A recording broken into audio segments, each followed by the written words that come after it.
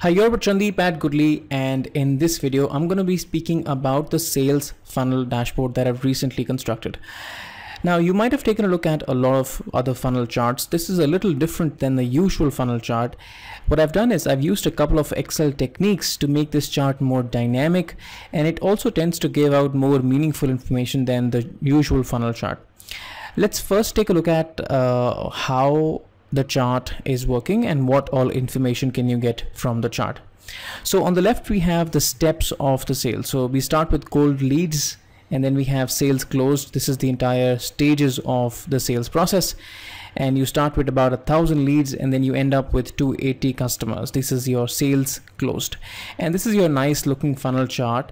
And these are two metrics. So one is drop from the first stage and drop from the previous stage. Now let's take a look at how the chart works. So if you click on any of the stages so let's say I click here which is email and recontacted I get to know that uh, in this stage we had 633 people uh, since the time we started, which is 1,000 people, we are 37%, uh, we have lost 37% of the leads. And since the last stage, uh, which is interested, we have just lost 3.7% of the leads. I can uh, also see that since um, the time I started, uh, I have lost 37% of the leads, but how many leads are those? What's the number? And I can see the number right here and uh, 24 leads lost from the previous stage. So if I compare these two, the, the number is 24 leads lost from the previous stage.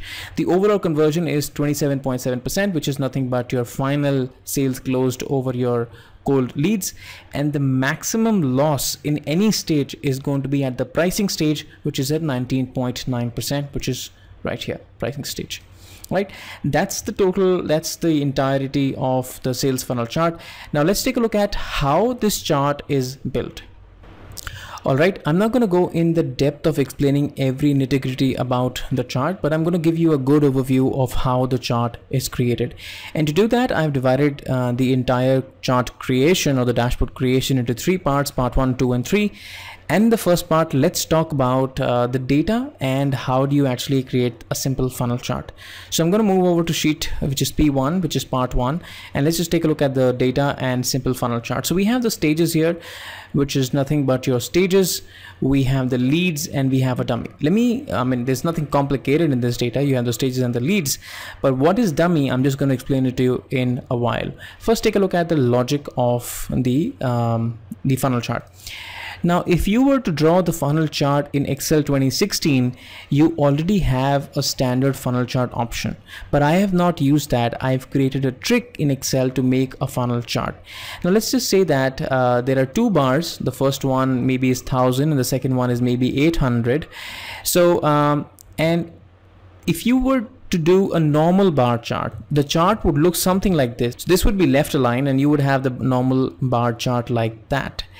Now, in order for me to make this a funnel chart, what I have to do is uh, there is a difference. This is 800, this is 1000 and there's a 200 difference. And I have to just move this uh, at 100 so maybe just like move here and half of the distance is what I will move. So maybe right here. So I have moved this at 100 not at 200 but at 100 so the difference whatever is the difference I'm just going to move the second bar by half of it. And that's exactly is this formula. So what I've done is I've taken the difference. So uh, your first stage which is your lead stage minus C5 which is this stage divided by 2 so whatever is the difference so let's say if you have 633 here I'm going to take the difference between the two and divide that by 2. So I have the leads, which is my actual number, and I have a dummy, which is going to go inside my chart. Now picking up these, these three things, I'm going to make a chart. Alt F1 is the shortcut to make a chart. Right click on that, change the chart type, and I put it as a bar chart, but a stacked bar chart. Click on OK. And I get a chart like that. Now, a um, couple of things that I want to clean up in the chart, chart title, no this is also no and I want to reverse the chart so you can see that um, the largest bar is coming in the end and my largest bar is coming in the top so I will click on the chart um, sorry I will click on the axis press control 1 to format that and I'll say that hey please reverse the axis. So categories in the reverse order. Okay. Now you can see that uh, the blue is coming first and the orange is coming the second. I want to rather have the orange first and then the blue. So I'm going to right click on the chart say select data and I'm going to say that hey the dummy needs to come first and the leads need to come second. So I will just reorder them by the arrow here click on OK and I have the leads and the dummy reordered. And right click on the on the orange which is nothing but your dummy fill as no fill. And that's about it. You have the chart ready. And the the thing that I've done is I've kind of deleted this and I've kind of deleted this made the chart clean and stuff like that. Also what I've done is uh, I've also nicely placed the chart on the spreadsheet so that every single cell uh, contains a single bar. So if you just take a look at this chart, which is already made, uh, the last bar comes in a cell, the second last bar comes in another cell, and so on and so forth. This is nothing but just the placement of the chart neatly inside your spreadsheet. And I've increased the size of column B. That's about it, right? Nothing complicated. So made the chart and then uh, cleaned it up and then uh, put it uh, in a way in a spreadsheet that every single bar is coming in a single cell. Now let's just take a look at uh, um, part number two.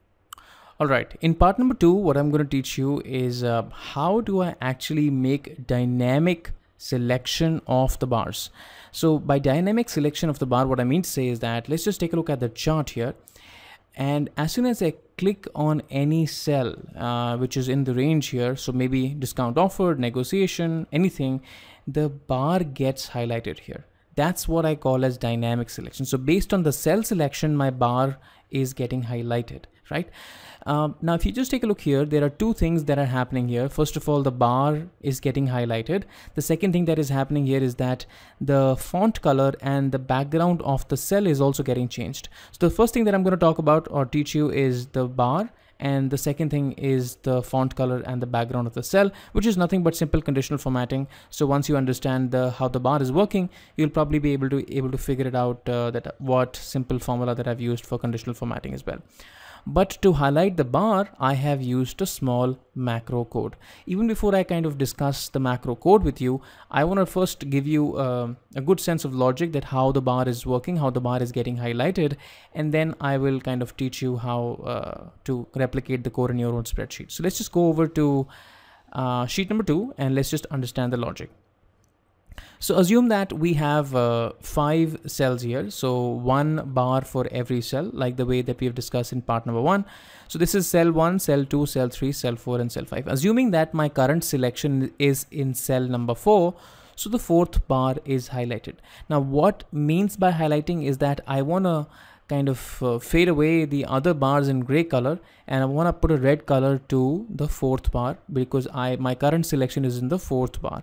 And as soon as I select the third bar the third bar is going to be in red and rest all the bars are going to be in gray color. That's what I mean by selection. Now how will Excel get to know that which cell is selected. So you need to find the row number. So for example, if you're in the first row, you Excel needs to tell the chart that, hey, row number one is selected. So please color the first bar of the chart. If uh, you're in the second row, Excel needs to tell the chart, hey, row number two is selected. So please color the second bar of the chart, so on and so forth. So I need to have a technique to dynamically get the row number of my current selection right this is the first thing that you need to understand the second thing that you need to under understand is that uh, the user could be clicking anywhere on the spreadsheet, right? He could be clicking here, he could be clicking here, he could be clicking here, he could be just clicking here as well. But your chart and the macro and the highlighting only needs to work when the user is clicking, you know, from this range to this range, from this range to this range, right? Anywhere. So uh, this is, I think, column B. I have hidden the columns, column B, and I think this is column G or a column F. I don't know what. So from column B to column G or column F, that is your row, that is your column criteria. And from from the first row until the 10th or the 20th or whatever row it says, I think the fourth row, the fifth row, and this is the 14th row or the 15th. We'll take a look when we kind of make the macro right here. Now let's just hop over to the macro and once I copy and paste the macro in the spreadsheet you will also also understand that what elements of the macro to change so I'm gonna press alt F11 to go to my macro screen right that's my macro Now, since my macro is written in uh, the first sheet, which is chart, you can just take a look here, chart, and uh, my macro is written right here. And I'm just going to say, take this macro code, control C to copy that. I've already written that for you. And since I'm working now in page number two, so I'm to go in page number two right here and paste my macro code right here right? Now I need to change a couple of things for this macro to run absolutely fine in my spreadsheet. Now let's see what all do we do I have to change. Now um, let's just take a look at the area selection. So my area selection is going to be from B column to G column, right? So B to G. Now let's just take a look at the code here. So I'm saying that the if the active cell dot column is greater than equal to 2, which is correct, B is column 2, and active cell dot column is less than equal to 7 and I think G is number 7 so 2 3 4 5 6 and 7 that's correct. So G is number 7 and let's just take a look at the row numbers as well. So my um, data is kept right from the fifth row not the headers the fifth row and up till the 14th row. So fifth till 14th is my uh, range so I'm going to change the number 4 to 5 here and uh, the last range to 14 here, right? So that's one change that I've made. The second change that I'm going to make is that uh, now if this condition is meeting, this is the condition that is satisfying your area of selection. Now, if this condition is meeting, what I want to do is I want to take that row number and I want to paste it somewhere on the spreadsheet. And let's just say that I want to paste it in A15 cell link is the named cell on uh, the chart sheet but I'm going to do that in my range A15 that means this cell right here A15 and I'm going to subtract 3 from it. Why 3 because 1 2 3 and 4 rows are empty in the top. So I want to subtract uh, 4 rows from the top right so I'm going to say that uh, active cell dot row minus 4 empty rows that are there on the top right? That's another change that I want to make. And let's just see that um, now it says that set my chart active sheet dot chart objects chart 2 but not necessarily this chart is named as chart 2 let's just take a look at what's the name of the chart. So I'm going to click on the chart and I'm going to go in my view tab and activate the formula bar and let's just take this is called as chart 1 so I'm going to go in my macro code and call this as chart 1 right? And this color coding is all fine. Uh, I think I just have to change the cell link again here to A15 that's what I wrote here. And then again A15 I think that should be pretty much it. And then let's just see if the code works fine or not. Now as soon as I select here uh, the code should color the chart absolutely fine. So and it, it is only going to work until this range because you specified the row numbers and the column numbers. So the time that you're working in this range, the chart is going to work fine. And the time that you're off this range, the chart will stop working, right? Because you're not in the selected area. That was part number two, which was for dynamic selection. Now let's just hop over to part number three. All right, so in part number three, I'm going to teach you how do you actually calculate the metrics and do the conditional formatting although I have written the macro code in uh, part number two, but the macro code is not there in part number three. So assume that that uh, one of the bars is getting highlighted. So, and that's how we're working. All right, so this is a simple straightforward formula uh, to calculate the first metric. The first metric says that how much have you percentage have you lost since the this is the first stage of the process or the first stage which is your, which is your cold leads. So if you just take a look, uh, you just take the difference between the two and you say minus one and you convert that into a percentage. That is going to give you that how much of a total loss have you had since the time you started collecting the leads, right? So at every stage, this in, this will is going to increase. The next metric is going to take the previous stage. So if I have to you know take a look at this stage, which is interested, I just take the previous stage, which is 720 minus 657. I get the difference and minus one, and I convert that into a percentage sign again. Pretty straightforward, nothing complicated, uh, just two straightforward formulas to calculate my metrics. Now, um, uh, like I said, um, you also had to color the entire line which is getting you know highlighted and that is happening in my chart so what I've done is I have, uh, you know, used a simple conditional formatting to find the row number and the row number is nothing given by your uh, macro itself. So here uh, in uh, the second sheet, we used this cell which is uh, A15 in my chart I have used this cell which is cell link. And the reason why it's not visible to you because I have uh, formatted in that way but if I kind of change the format you can see that right now the fifth row is colored and then the fourth row is colored. So as soon as I get the row number I'm going to use the rows function. So I'm just going to select all of that and just show you the function so home conditional formatting and I'm going to go in manage rules and I'm going to click on edit rule. And this is the little formula that I've used. So I'm saying that if the rows formula is matching cell A1 which is nothing but this cell then please format the cell in gray and color the font in red with bold. That's about it. And this formatting is applicable to uh, B4 to G13 so b4 to g13 which is right until here. That's about it.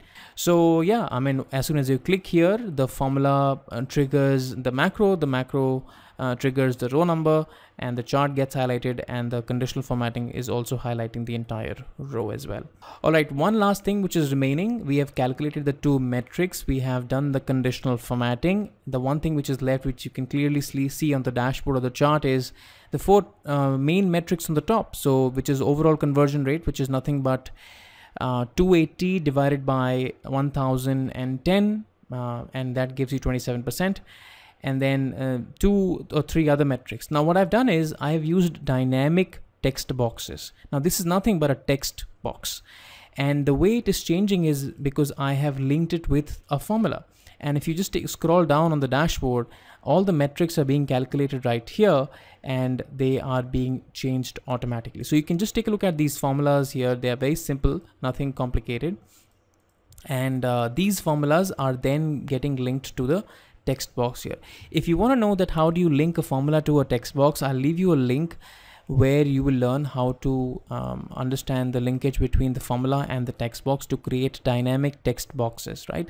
And I've given a lot of examples there, so you can just take a look at that. So these are four text boxes linked with formulas, kept it on the top, and this you have the chart here, right? Well, that was all about the funnel chart. I hope you like it. In case uh, you have any questions, um, while implementing this in your own uh, data, please do not hesitate to write to me or leave a comment and I'll be more than happy to help you out. Thank you so much for watching this and you take care of yourselves. Bye-bye.